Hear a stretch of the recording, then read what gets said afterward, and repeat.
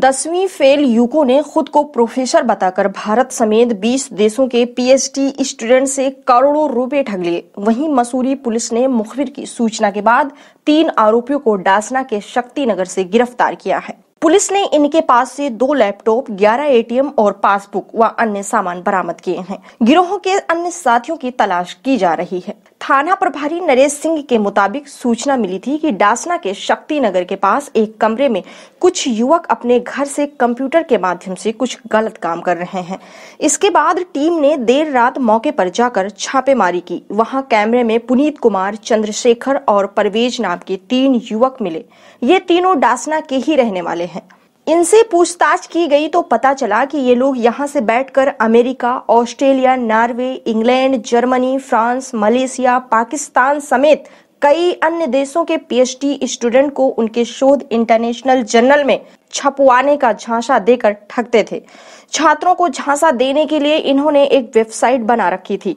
इसी के माध्यम से स्टूडेंट इनसे संपर्क करते थे। उन्होंने बताया कि अकेले पुनीत की दो पासबुक में 350 ट्रांजैक्शन विदेशों से हुई है।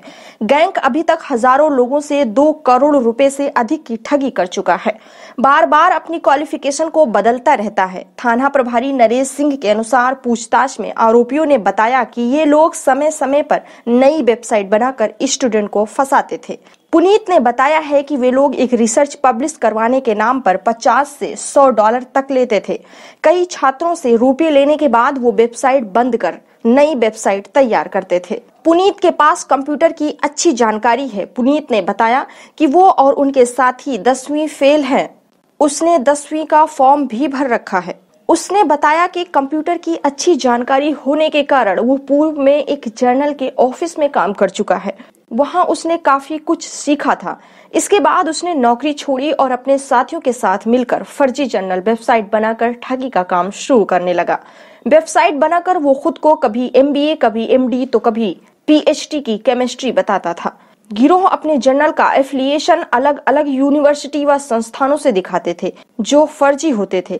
इसलिए आसानी से झांसे में आ रहे थे। पीएचडी छात्र इतनी बड़ी संख्या में होते हुए भी आसानी से छात्रों के जालसाजी के शिकार हो रहे थे।